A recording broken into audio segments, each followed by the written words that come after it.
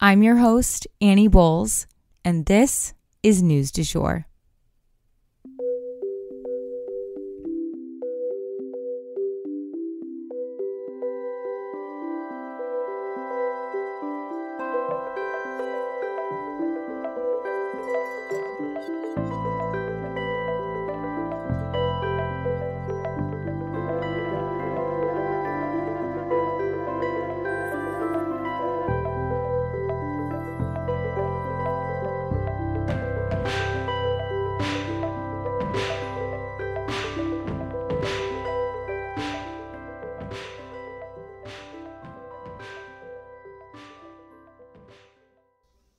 Hey, you guys, and welcome back to the News du Jour, a calmer space to consume the news.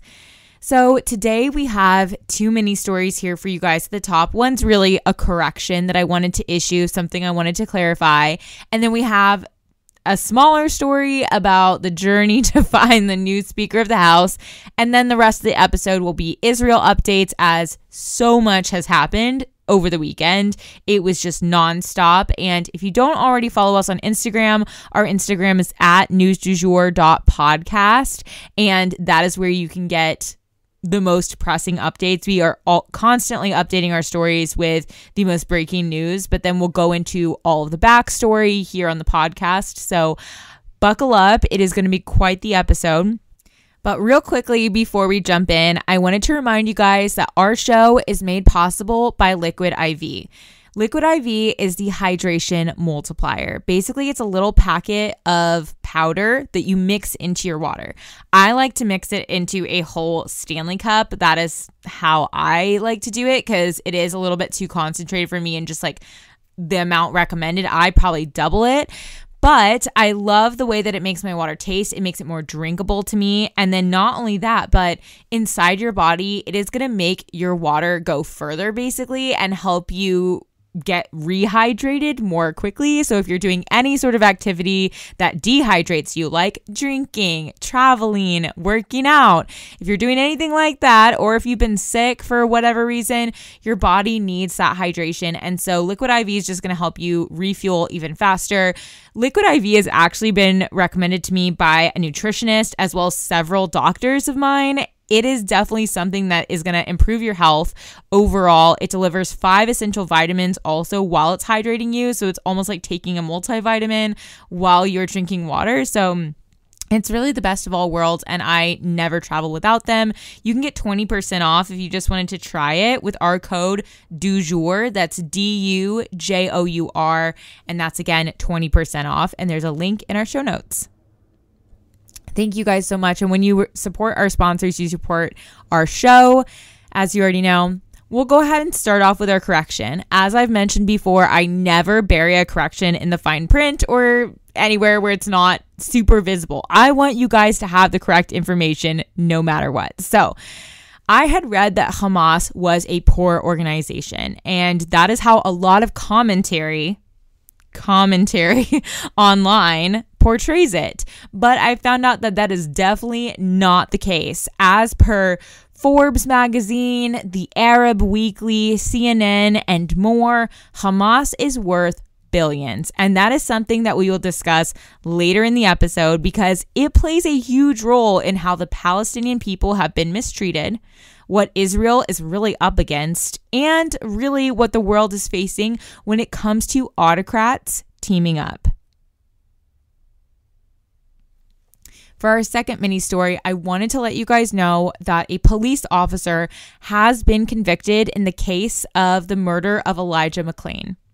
I know a lot of you guys, like me, were deeply invested in this particular case. A second officer, though, was acquitted. I wanted to let you guys know. Basically, even though they were tried together, the officer who was convicted was the superior officer, and the jury determined that he was the one who was really at fault and not his inferior officers. So that's it for mini stories today. We are going to go ahead and jump into the search for the Speaker of the House. So I wanted to touch on the search for the speaker before we headed into our Israel updates because honestly, this search is going long and could really affect our ability to help our allies. Let's jump in. So the search for the Speaker of the House continues. Steve Scalise, who we discussed on Friday, who was nominated, he did not stand up to the vote. He lost the vote. Of course, now Jim Jordan looks like the front runner. Austin Scott's name has also been tossed around. There have also been rumblings about Mike Johnson of Louisiana seeking the gavel. Should Jim Jordan secure fail to secure the votes? But this is why ousting McCarthy made absolutely no sense. It will be difficult to elect any Speaker of the House right now. And that is because of how divided the Republican Party is. There aren't any strong leaders. The moderate Republicans are the majority, but they're kind of being held hostage by the Trumpian minority members whose votes they need to put someone into the position. It really, again, points back to that lack of leadership right now in the Republican Party generally. They don't agree on anyone. And until they do, our government literally cannot function. At the end of the day, it would be phenomenal to have a cool head in this position. Right now, things are extremely precarious in our world. We need our most serious and rational leaders leading with steady hands and strong hearts. No more political scorekeeping or game playing. We have the world looking to us to lead towards fairness and stability right now. We have some serious work to do, and we need serious leaders to do it. And now, without further ado, we will go ahead and jump into Israel updates. So, this is going to be long. Go ahead and buckle up. Our episode might go long for the day, but the first thing I want to talk about is a ground invasion. So, a ground invasion is imminent, and that is the biggest thing to know and be aware of right now. Israel plans to invade Gaza, and they have said that in no uncertain terms. Their goal to rid the world of Hamas, both their political and militant fractions. Doing this will be no small feat. A lot of civilians, especially children, stand in the way. That said, the Daily Mail published that the IDF elite forces, kind of like Israel's SEAL team, has actually recovered 250 hostages, which is more than we even knew were taken, although there are many more that are still missing. Um, they've killed 60 Hamas militants and captured a top Hamas leader not the top, but one of the top, like, kind of militant leaders. This is what the Daily Mail is reporting. Again, just as a reminder as we go into this episode, in case you've missed some of the previous ones, there is so much mis and disinformation floating around right now more than ever, especially about this issue. So I am wading through it as much as I can, and I will always cite where I got information and always issue corrections at the top of each episode. So it's just really important to, you know, listen to where information's coming from now more than ever to be media literate. Anywho, um, it's un- unclear what recovering these hostages really means, quote unquote.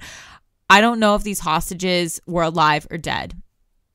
But the biggest atrocity that has happened since we spoke is the Israeli government telling 1 million people, residents of northern Gaza, a million people, to move to the southern half of Gaza.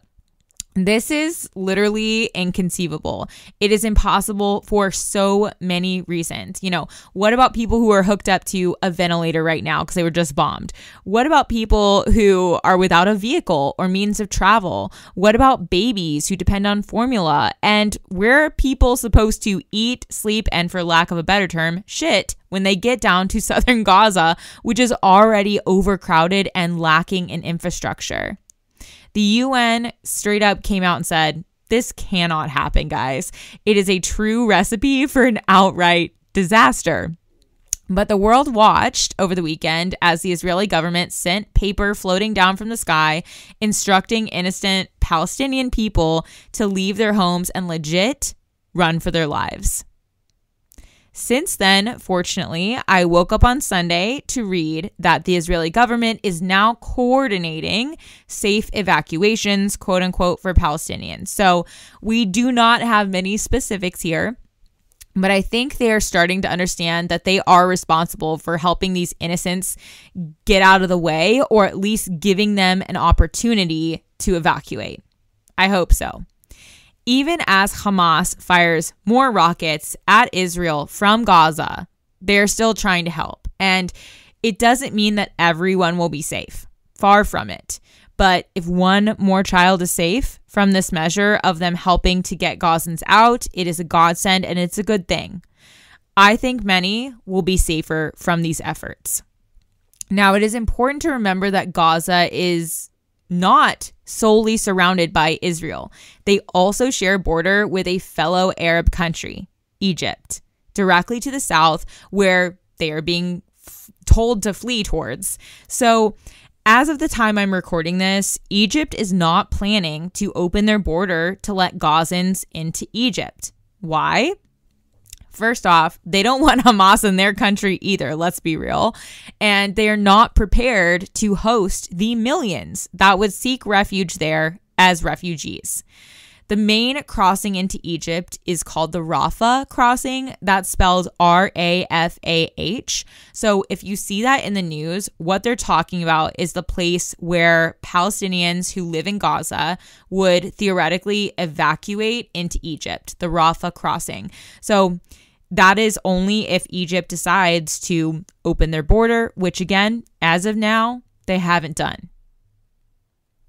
But reportedly, Hamas according to NBC News, as well as many other outlets, are urging Palestinians not to leave Gaza, not even northern Gaza. They want them to stay there and be killed.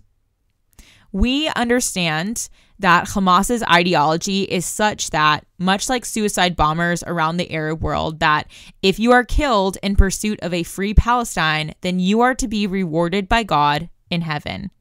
I know it's deplorable, but that is what they preach to innocent people, including children. So, speaking of Hamas, what would getting rid of Hamas really look like? What would that require?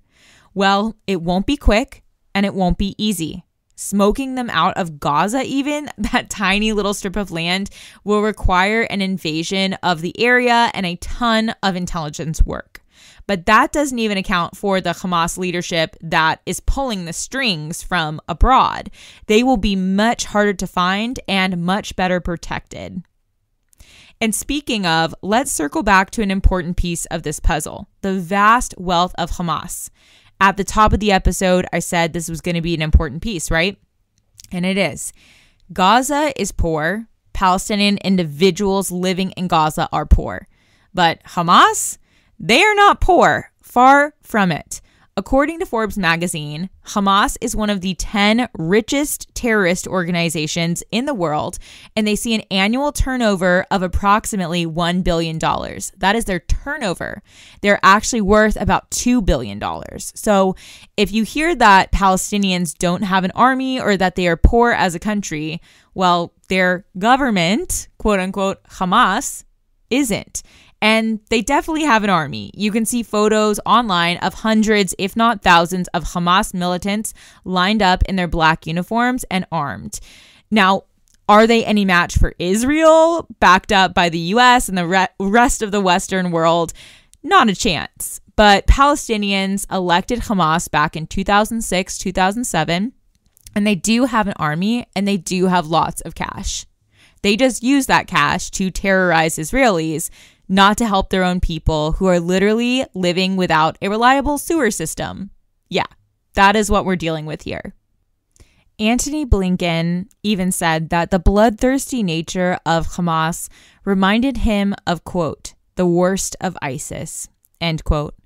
And he is someone who has had up close and personal experience facing off with ISIS. But Hamas is not the only leadership who is being criticized here. No, no, no. Netanyahu's own people have picked up protesting him yet again. Yes, in the middle of all this, he does not even have the support of the Israeli people to be leveling whole neighborhoods in Gaza.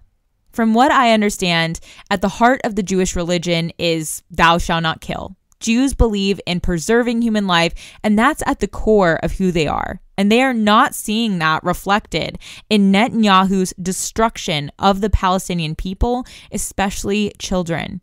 And they're not helpless to stop it. They are taking to the streets to protest his actions as they have done before. According to reporting by Business Insider, the protesters are calling for Netanyahu's resignation over his response to the Hamas attack. They hold signs splattered with red paint saying, quote, Bibi, there's blood on your hands, end quote. According to Business Insider, he has yet to even reach out to the families whose loved ones have been taken hostage by Hamas, according again to Business Insider. Unimaginable. Biden reportedly spent 90 minutes on the phone with American hostage families, and only 14 of them have been taken. That is the least that a leader can do in a situation like this.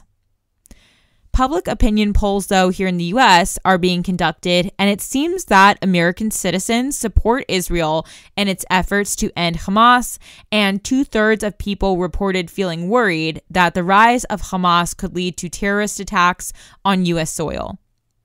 That said, the poll also reflected that 47% said they at least moderately trusted Biden at the helm. So his numbers aren't great, but they're up from the 42% that he had at the start of the war with Ukraine, according to CNN Politics. It sounds like many people are worried that the global ramifications here are pretty dire. And to be honest, we should be worried. There are several developments on that front that I think are very important we go over, specifically four. Let's jump in. So, number one, the most alarming development on that front, the sort of global perspective here from this weekend, was the video footage coming out showing the leader of Hamas, a founding member, meeting with the leadership of Iran. The two met up in Qatar, where the Hamas leader is supposed to be living. And Reuters confirmed that the purpose of the get together was to continue their relationship. Absolutely spine chilling to have photographic evidence of a linkage between these recent attacks and Iran. Iran is obviously a sworn enemy of the United States. They have required children in school to chant death to America and death to Israel every morning. They are not friendly. What's more, if you guys remember, we covered this extensively and even have a whole bonus episode about it with an Iranian attorney named Elica Le Bon. They have inflicted on their own people some of the most deplorable human rights abuses ever documented. After the meeting, the two announced they had agreed to, quote, continue cooperation, end quote, and called the attack on Israel a, quote, historic victory, end quote. I really could be sick from that. What did they gain in that attack other than terror and bloodshed? The second most alarming development from the global community is that Iran has warned Israel that they will escalate their involvement in the conflict if Israel if Israel continues its offensive against Gaza and attempts to root out Hamas, which they plan to do. So, we've said it before if Iran gets directly involved with this conflict, it could lead to a world war. That looks very much like a World War III beginning. Bloomberg reported that the Saudis have put their diplomatic deal with Israel on hold in the wake of the current violence, which is super troubling. Obviously, it was a precarious deal to begin with, but the whole reason that the US was trying to help broker this deal was to secure that the Saudis would be on the side of the allies should a war a world war commence involving like Russia and China. Now it looks like we are even closer to a world war, but further from having the Saudis on our side. And lastly, in terms of global ramifications, on the Zoom call that I watched, hosted by Columbia University, Hillary Clinton, former Secretary of State who has worked with Netanyahu personally, cited Putin's statement on this conflict as particularly noteworthy and spine chilling. His statement read in part that he stands, quote, ready to work constructively with all like minded partners, end quote. Yeah, that just If that doesn't send shivers down your spine, I honestly don't know what would. Again, this is what we're seeing is autocrats uniting. These leaders who are so corrupt and abuse their own people coming together to fight democracies. To me, the only word to describe this moment is precarious, delicate, dangerous, dicey hovering on the edge where a strong wind might blow us one way or the other as a global community. It makes me think of what the moments just before Pearl Harbor must have been like. Watching the world around us, our allies, descend into the chaos and suffering and hellscape that is war. Just us waiting for a sign. A white flag of peace to float over us and ease our fears, or a red flag of war to usher us into the madness. I personally am saying prayers constantly for two things. Number one, that not another hair on another head is harmed, that the bloodshed can end. And number two, that both nations find true leadership that bring them together in mutual respect, love, safety, and brotherhood, and that those who stand against those things are silenced once and for all. We have added links in our show notes for aid organizations that can help both Palestinians and Israelis and really encourage you guys to consider making a donation. And that is the news du jour. Today, I wanted to leave you guys with the quote it's really a wonder that I haven't dropped all my ideals because they seem so absurd and impossible to carry out. Yet I keep them because, in spite of everything, I still believe that people are really good at heart, and I simply can't build my hopes on a foundation of confusion, misery, and death. I see the world gradually being turned into a wilderness. I hear the approaching thunder. I can feel the shuddering of millions. And yet, if I look up to the heavens, I think that all will come out right one of these days, that this cruelty will end, and that peace and tranquility will return. And those are the words of 16 year old Anne Frank. If you enjoyed this episode, please subscribe on whatever podcast platform you use to listen. A rate and review on that platform or a shout out on social media would mean the world to us and help us to be able to keep creating the news du jour and reach more people who need a calmer space to consume the news. But the best way to support all of our work is to become a patron at www.patreon.com forward slash sugar free media, and that is also linked in our show notes. You can follow us on social media at newsdujour.podcast on both Instagram and TikTok. You can follow my personal account at It's Annie Bowles on both platforms as well. Any little noises you may hear in the background are my rescue pup. He has a little separation anxiety and always records with me. We appreciate you listening and look forward to telling you about the news again next time on News du Jour.